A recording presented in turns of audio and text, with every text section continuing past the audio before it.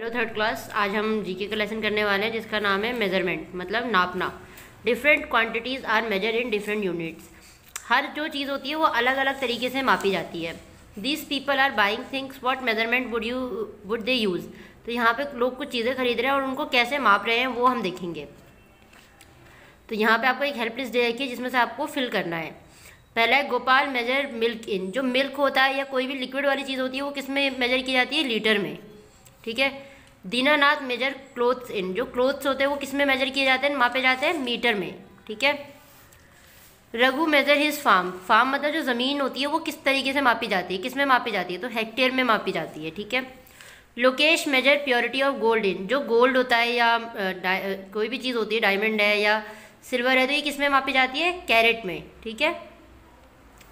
Mahesh wait vegetables इन जो vegetables हैं fruits हैं, ये सब चीज़ें किस चीज़ में मापी जाती है? Kilogram Shikha measure food energy in, जो फूड्स की एनर्जी होती है मतलब खाने में जो एनर्जी हमें मिलती है, वो किस चीज़ से मापी जाती है? कैलोरीज, ठीक है? ये लेसन हो गया, अब हम आगे करेंगे। अगला है आपका लेसन बीइंग गुड मतलब अच्छा कैसे बन सकते हो आप? रवि इस क्लास टीचर आज him to prepare a chart for the class showing how to be good तो रवि की टीचर ने रवि को कहा कि उसे एक चार्ट पेपर बनाना है, जिसमें उसे ये बताना है कि आप एक गुड मतलब एक अच्छे बच्चे कैसे बन सकते हो।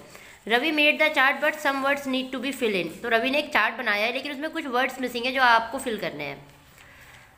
तो help your parents follow rules in the school listen to the teachers तो ये सब किस चीज़, कौन सी क्वालिटी है? बी ऑबिडेंट मतलब ऑबिडेंट होना किसी चीज़ के लिए।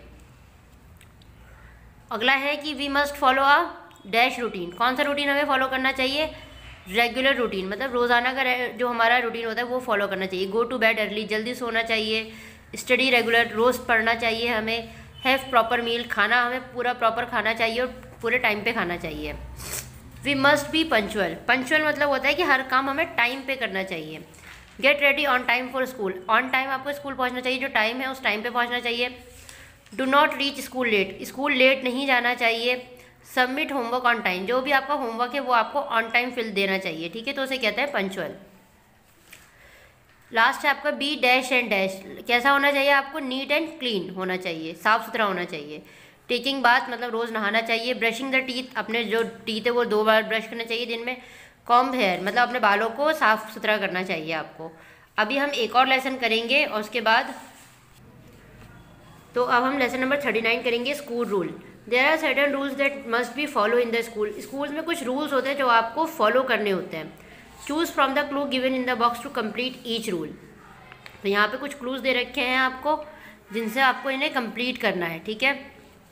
You should always bring the things you need for each lesson तो हर लेसन से कोई भी चीज़ मिलती है, वो आपको लेनी चाहिए।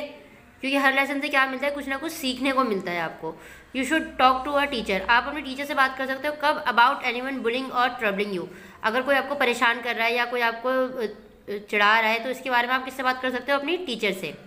In the library you should stay quiet जो भी आपकी लाइब्रेरी में जब आप जाते हो तो आपको क्या रहना चाहिए? चुपचाप रहना चाहिए। एंड नॉट डिस्टर्ब अदर और दूसरों को भी डिस्टर्ब नहीं करना चाहिए।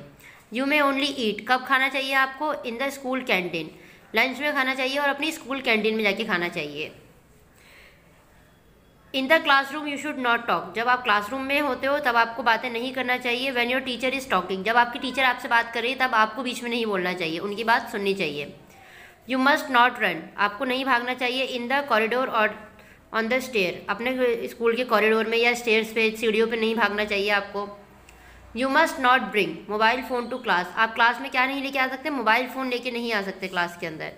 You should not leave the school during school hours school hours में आपको स्कूल नहीं छोड़ना है. जब स्कूल की छुट्टी होगी, तभी आपको स्कूल से बाहर जाना है. All the rubbish must be put into जितना भी वेस्ट होता है, जितना भी कचरा होता है, वो आपको कहाँ पे फेंकना होता है? द वेस्ट पेपर बास्केट जो आपकी वेस्ट पेपर बास्केट होती है या डस्टबिन होता है, उसमें फेंकना है. You must arrive before the bell ring bell के रिंग होने से पहले आपको आना है, अपने स्कूल के ऑन टाइम पे आना है। तो ये तीनों लेसन थे आपको, ये तीनों लेसन कॉपी में करने हैं। पीडीएफ बना के सेंड करनी है और सारा काम आपको कंप्लीट रखना है। ओके बेटा बाय